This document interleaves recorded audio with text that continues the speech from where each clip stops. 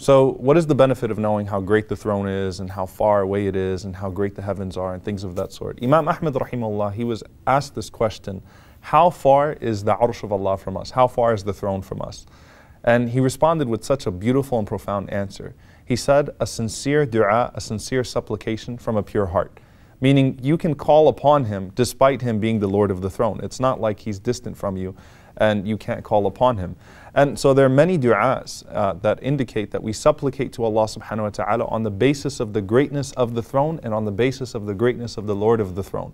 And this is something that, that's, that's beautiful about the Arabic language and also the Quran.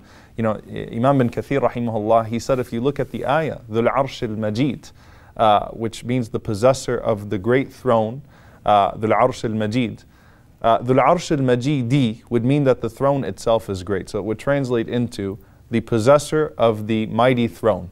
Dhul Arsh al-Majidu would mean the possessor of the throne, the Almighty. And he said both meanings are correct. And so we find some supplications that indicate to us the greatness of the throne and the bearers of the throne, and then some supplications we call upon the Lord of the throne. So, with the greatness of the throne, there's a very beautiful uh, story that the Prophet ﷺ, uh, one time he left Juwayriyah, radiallahu ta'ala anha, his wife, and she was making dua throughout the morning. And he came back after some time and he said, How long have you been in the state? And she said, All morning. He said, I've said a dua, I have a supplication that is equivalent to everything that you've done this entire morning. Subhanallah wa bihamdi, adada khalqihi, wa rida nafsihi, wa zinata arshihi, wa midada kalimati. So the Prophet ﷺ said that saying that supplication three times equals the entire morning of praise.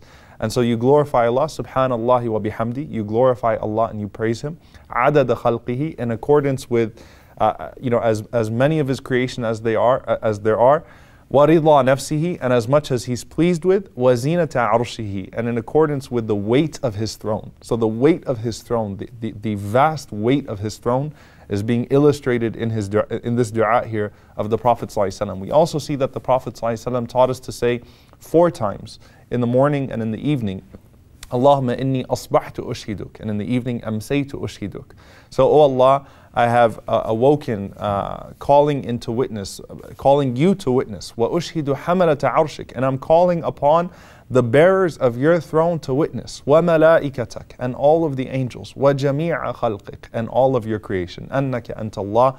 That you are Allah there is no God besides you, and so on and so forth until the end of the dua. So here, particularly, the Prophet ﷺ was, was calling to witness the bearers of the throne. The Prophet ﷺ said that whoever says that dua four times in the morning and four times in the evening, he would be spared from hellfire.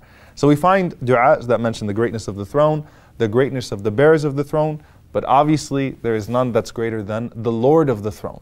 And Allah subhanahu wa ta'ala is called by the Lord of many things, right? The Lord of uh, the heavens and the earth, the Lord of the, the, Lord of the Prophet sallallahu alaihi wasallam, khayru the best of Allah's creation, right?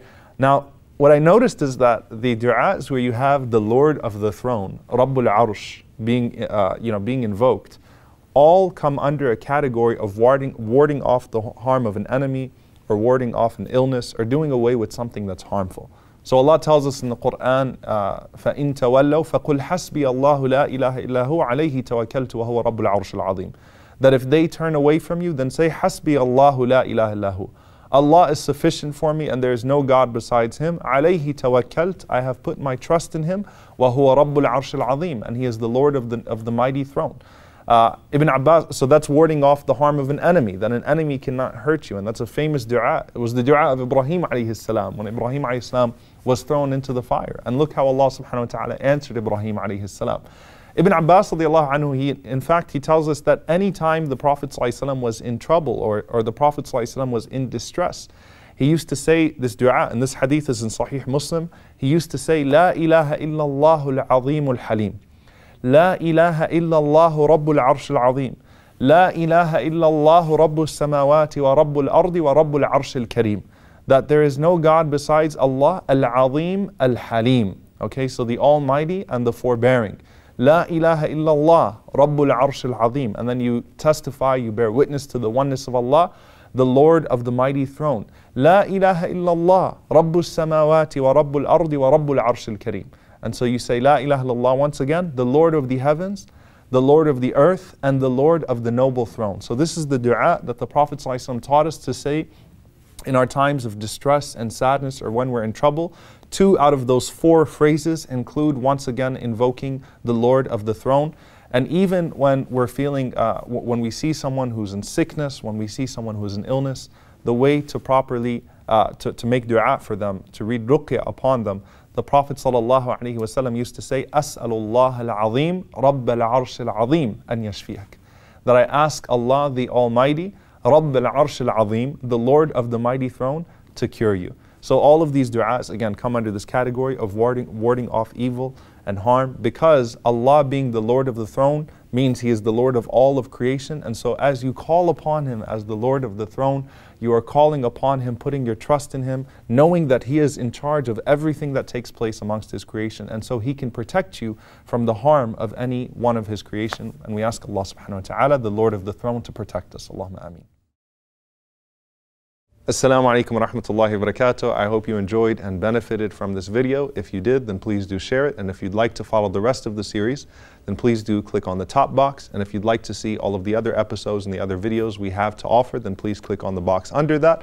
And don't forget to subscribe to the channel for more amazing content.